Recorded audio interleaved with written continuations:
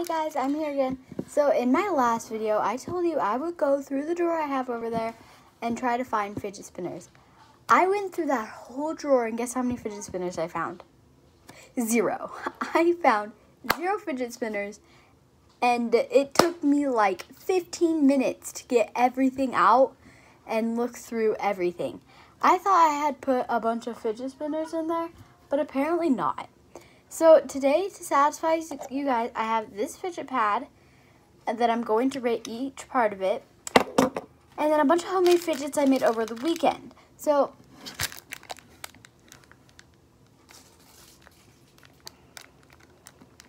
sorry. Okay, hold on, let me make sure I have everything. One, two, three. Why did I grab this? This is not a homemade fidget. I made over the right. Can't even say it anymore.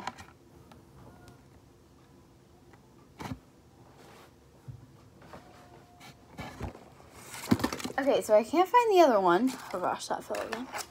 So I'll look for that later. But, um, yeah, I can't find the other one. But if, I'm sorry I not posted this weekend at all. But if you look, I do make content on TikTok. Um, at I think it's the same name. I'm not sure. Um, but we're going to start with the fidget pad. And let's get started.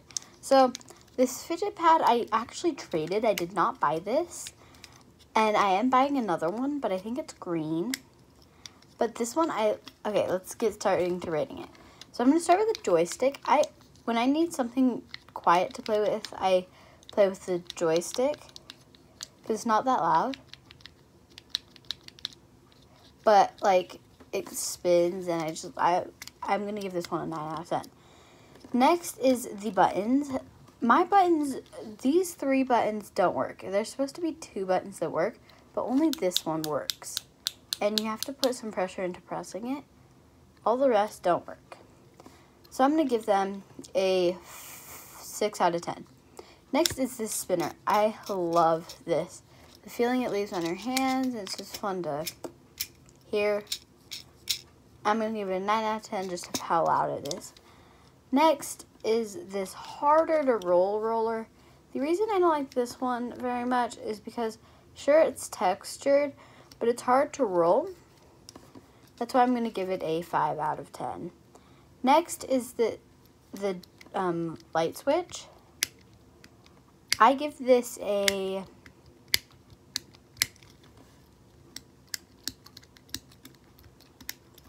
I don't know. I'm gonna say seven out of ten. And I I think it's just because it's kind of loud and it's kind of hard to push. But otherwise, I mean, it's good. Okay, next is the um, pull and release. This is absolutely so loud, but it looks super cool. I'm going to give it a...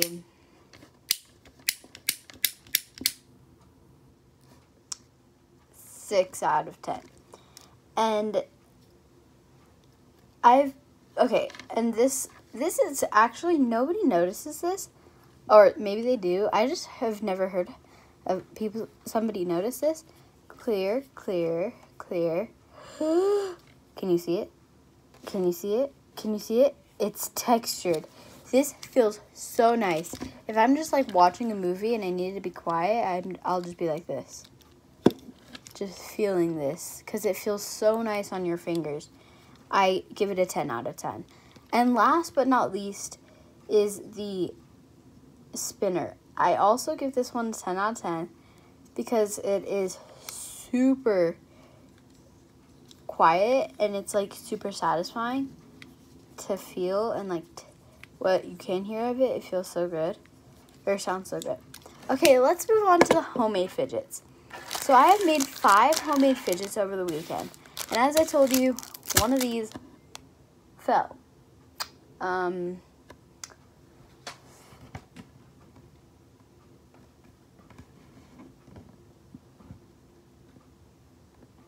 and I also can't find it. So let's move on. First is this tangle. It is white, um, pipe cleaner and just a bunch of beads on it. And I love I love it. I love that it's green. And I love how it makes me feel. Like I it's not like a normal tangle, it's separated. Like I can I don't know. But it feels super good. I love this one. I feel like this was a big success when I made it. And it only took like, sorry, I, I got a notification. Um, maybe,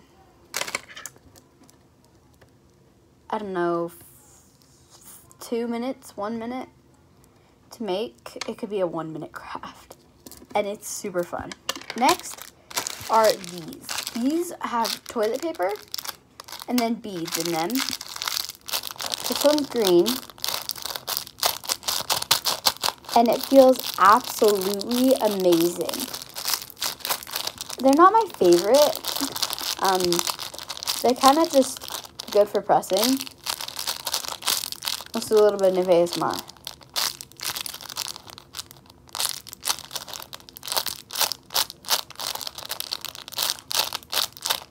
You know, I still don't like it that much, but it's good.